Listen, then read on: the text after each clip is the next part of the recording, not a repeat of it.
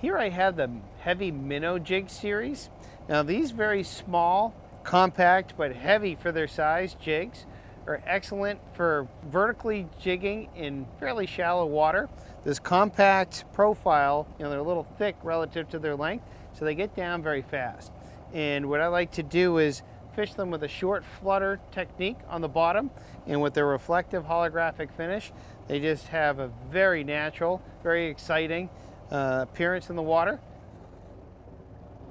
It's going to let it down to the bottom. Now remember, it's a very small, co compact profile. You want to create a lot of commotion. So it's a lot of short twitching motions. You want to make that bait really dance and quiver right on the bottom.